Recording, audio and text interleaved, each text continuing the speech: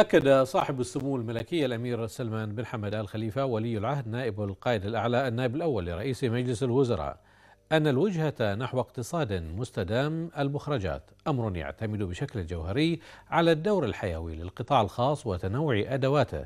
وذلك باعتباره شريكا فاعلا للتنمية والازدهار. وقال سموه إن العمل متواصل في ظل توجيهات حضرة صاحب الجلالة الملك حمد بن عيسى الخليفة عاهل البلاد المفدى حفظه الله ورعاه لتحقيق التنمية الاقتصادية التي تسهم بشكل فعلي في النماء والارتقاء والنماء بالمستوى المعيشي للمواطن وذلك عبر منظومة الجهود المتكاملة للحكومة برئاسة صاحب السمو الملكي الأمير خليفة بن سلمان الخليفة رئيس مجلس الوزراء الموقر لتوفير العوامل المساندة لتهيئة البيئة الخصبة التي توفر التحفيز والدعم لكافة أشكال الأنشطة في القطاع الخاص ليتواصل تطور دوره الحيوي كمحرك رئيسي تتبلور عبره الفرص النوعية لانطلاقة الأنشطة وتوفير الوظائف ذات القيمة المضافة.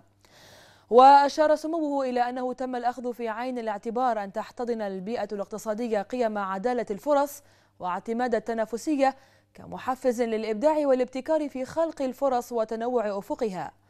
جاء ذلك لدى رعاية سموه تدشين نظام السجلات التجارية سجلات الذي أطلقته وزارة الصناعة والتجارة والسياحة في, والسياحة في بيت التجار صباح اليوم. منوها بأن هذا المشروع يأتي ضمن حزمة من المبادرات لتطوير القطاع الاقتصادي والتجاري وهي الأكبر منذ أربعين عاما لخدمة هدف تحقيق الاستدامة الاقتصادية بأبعادها المختلفة. وأشاد سموه بكافة الجهود المساهمة في إطلاق هذا المشروع الحيوي الذي يخدم عناصر هامة تشكل مقومات الهوية التجارية في البحرين وهي السرعة والكفاءة والشفافية والانفتاح. مما يصب في مسار الارتقاء بمستوى الأداء الحكومي ويسهم في تحقيق مزايا أكثر للاستثمار على الصعيدين المحلي والخارجي. ونوه سموه بما يشكله هذا النظام من نقلة تدعم الإبداع والريادة في الأعمال خاصة بعد القرارات التي تم اتخاذها فيما يتعلق بتنظيم تصنيفات الأنشطة وتطوير الإجراءات المتعلقة بذلك مشيدا سموه بما تسهم به هذه الخطوة من تسهيل عملية التسجيل وتحديد الأنشطة التجارية بيسر وشفافية عالية. وثمن سموه ما تم القيام به من عمل لمراعاة أن تعم الفائدة من إطلاق نظام سجلات على مختلف فئات الأعمال التجارية بما يدعم تنوع نطاقها وتعدد الخيارات أمام المستثمرين من داخل وخارج البحرين بما يوفر أرضية خصبة لجني الفرص. وأكد سموه على أهمية إدخال ميزة خيارات التفاعلية أمام المستفيدين من النظام لما لها من عوائد متعددة الأبعاد بالإضافة إلى تفعيل الأدوات لقياس جودة الخدمات مما يتيح المراجعة الدورية لمستوى الخدمات بصورة مستمرة لضمان تحقيق الأهداف الموضوعة للنظام من تعزيز مردود الإجراءات التي لها أثر مباشر على رفع مخرجات القطاع التجاري بصورة يلمسها المستثمرون وتنعكس على مسارات النماء في القطاع.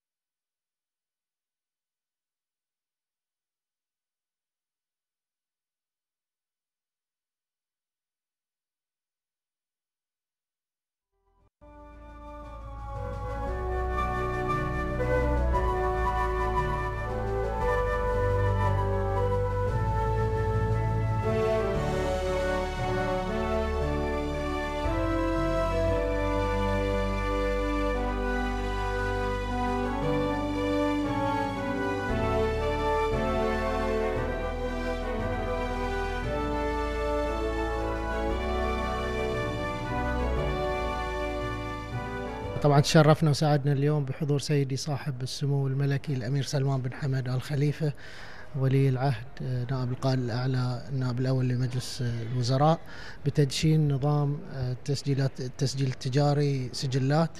واليوم إحنا نحتفل رسميا بالانتهاء من مرحلة تدشين هذا النظام الذي انطلق من عدة شهور. آه، وتمكنا الحمد لله في هالفترة من إحنا نضيف نقلة نوعية في تسجيل الشركات في البحرين وهذه يعتبر الصيغة النهائية لمشروعنا الإصلاحي في تطوير نظام تسجيل الشركات. الهدف الأساسي طبعا هو اختصار العمليات واختصار المدة الزمنية في تسجيل الشركات وتسهيل الإجراءات وتمكنا لله الحمد بحضور سمو ولي العهد من إنجاز هذه المهمة في 93 ثانية حيث تم إصدار أو سجل في رقم قياسي اللي هو 93 ثانية. خطوة أن إحنا أيضا قمنا بتعديلات كبيرة في القوانين حيث تواكب هذا التغيير وكلها تنصب في مصلحة رؤية 2020 30 آه، اللي تصبو إلى تسهيل الإجراءات وتوسيع قاعدة الاقتصاد والنمو الاقتصادي. إصدار السجل التجاري آه، بالسرعة اللي اللي اليوم بينوا لنا وزارة التجارة سعادة وزير التجارة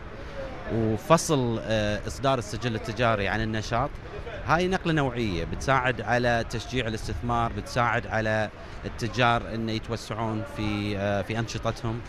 فبدون شك هذه يعني آه، يعني تخيل لي بيسهل على آه، الحركة الاقتصادية في البلد.